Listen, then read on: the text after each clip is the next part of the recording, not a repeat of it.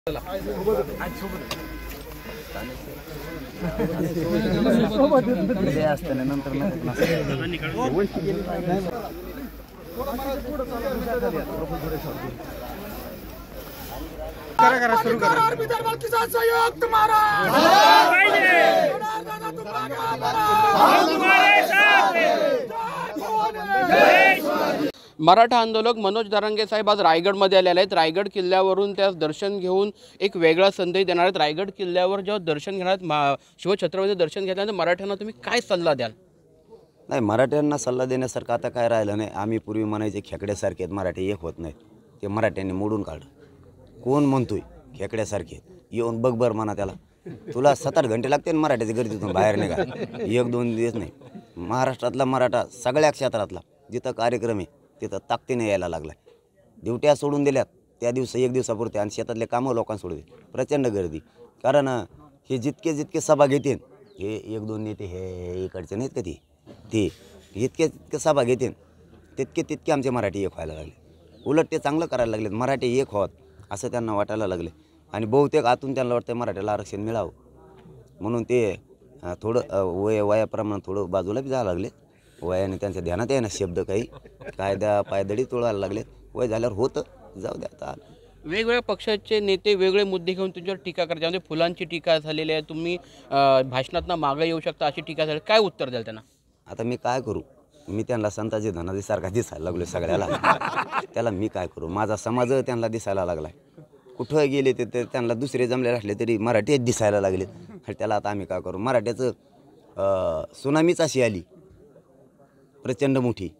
हे घराघरातला करोडोत मराठा एकत्र झाला आहे कसल्या गावात गेलं तर पाच हजार आणि कार्यक्रमाच्या ठिकाणी मोजताच येत नाहीत इतके. आहेत. त्यामुळे त्यांना कुणीकडे बी सध्या मराठीत दिसायला लागले संताजी धानाजीसारखे त्याला मी काय करू शकत नाही.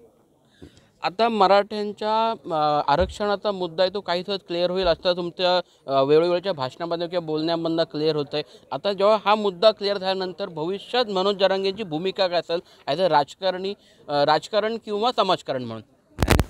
राजकारण राजकारण फाजकारण आपल्याला येत नाही. त्या डाव असते जणू. डाव आणि कुठं येतात मग आपल्याला? ते मेळ लागून देत नाही टायमाला कुंकडे टंगडीत गुती देत कुंकडं वरगडी देत ते ते आपल्याला जमत नाही ते डाव येत नाही. आता नाही का त्यांनी किती गाबाळ एकामेकाचं कोणी कोणाचं फोडी देईन रचित कोणाचा देवा कुंकडं चाललाय. आणि मग आपल्याला तर ते तसलं लफडे नाही जमत ना. जन आंदोलनात एवढी ताकद आहे. की कशातच नाही. खरंच सांगतो तुम्हाला मी. आणि शांततेत एवढी ताकद आहे की शांतीचं ब्रह्मास्त्र पेलण्याची हिंमत या राज्यात आणि देशात कोणातच नाही. त्यामुळं ह्याच शांततेच्या आंदोलनानं मराठा आरक्षण निर्णयाच्या प्रक्रियेत आणलं शेतकऱ्यांपाठोपाठ मराठा आंदोलक किंवा तरुण किंवा मोठी माणसं आत्महत्या करतायत तर त्यांना शासनाने भरपाई द्यावी किंवा अनेक लोकांवरती गुन्हे दाखल झाले आहेत त्यासाठी मनोज दरांगेंची भूमिका सरकारच्या बाबत काय असेल नाही सध्या तरी सरकार मराठा आरक्षणाच्या बाबत पॉझिटिव्ह आहे. कारण प्रमाणपत्र मिळायला लागलं. आम्ही सत्तर वर्ष हे बघितलंच नाही कसलं असतं फक्त आमचं कोण कोण खातं एवढंच आम्हाला माहीत होतं. आता तिथपर्यंत जायला रस्ताच नव्हता. तो रस्ता सगळ्या मराठ्यांनी केला आहे शेतू बांधल्यासारखं सारखं. श्रीलंकेत कसे गेले? गोटे टाकून गोटे टाकून गोटे टाकून. तसे मराठ्यांनी असा टप्पू शेतू बांधला. तो तुटाना बी कोणाला कळत आणि आरक्षणापोत मराठी आता गेली. आणि त्यांना ते आरक्षण आता दिसलंय. आणि समोरच्याला वाटलंय. घुसले. खरंच घुसलोत ना? आमचं हक्काचं हे आरक्षण. आम्ही ओबीसीत आलो तर आमचा सातबारा सापडा आहे. आता तुम्ही दादागिरीनं ती आमची जमीन बळकिली होती. पण आता सातबारा मिळाला आहे कायदा आम्हाला ती देणारच आहे. तू किती दादा असून दे. नसतं मग परत तिथं जावं लागतं. एक मराठ्याच्या एका मराठ्याच्या आत्महत्येमुळे अख्खं कुटुंब बर्बाद झालेलं आहे. त्यात कुटुंबाला सरकारने आधार द्यावा यासंबंधी काय आपली भूमिका असणार आहे का? सरकारनं आधार तर दिलाच पाहिजे. त्यांना एक नोकरी दिली पाहिजे कारण कुटुंब उघड्यावर पडलं शासकीय नोकरी दिली पाहिजे चांगल्या प्रकारची.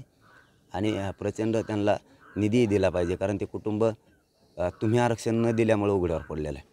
याला जबाबदार तुम्ही आहेत. परंतु सरकारनं माझ्या माहितीप्रमाणे बऱ्याचशाच लोकांना दिलेसुद्धा सांगितलेल्या ठिकाणी पोहोचलेत. थोडेफार राहिलेत फक्त. तेही त्यांनी सांगितलं की या दोन दिवसात आम्ही सगळे करतो. म्हणजे ही कालचाच विषय कालच बोलणं झालेलं आहे की सगळीकडे आम्ही या दोन दिवसात पाठवतो. कारण त्या दिवाळीच्या सुट्ट्याच्या अगोदर सगळ्यांचं केलं या सुट्ट्यामुळं दिलं नाही.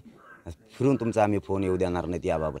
असंही सांगितलेलं आहे आणि त्यांनी केलंही. पण माझं आव्हान आहे मराठा समाजाला तुम्ही आत्महत्या करताच का? आरक्षण मिळायला लागलं नव्हतं आपल्याला इतक्या दिवस. आपण काय केलं? आता आरक्षण मिळायला लागले आपल्या लाखानं पोरं आज त्याचा उपयोग घ्यायला लागले पत्र लगेच मिळायला लागलेत. दोन वर्षांनी मिळणार आहे असं नाही. नोंद सापडणं पत्र देणं सुरू आहे. उद्याच त्याच्या ते कामाला येणार आहे आता. मग आता लेकरांचं कोणाचं तरी कल्याण व्हायला लागलं थोडा दम धरा. कुणी आत्महत्या करू नका. आरक्षण मिळायला लागल्यावर आत्महत्या करण्याचं कारण काय?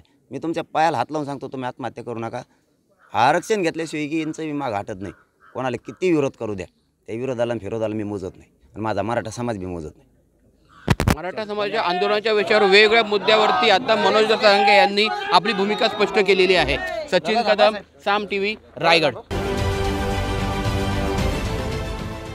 देश विदेशातील प्रत्येक घडामोडींचे लाईव्ह अपडेट मिळवण्यासाठी आता साम टीव्हीच्या सर्व सोशल मीडिया प्लॅटफॉर्मला लाईक फॉलो आणि सबस्क्राईब करा.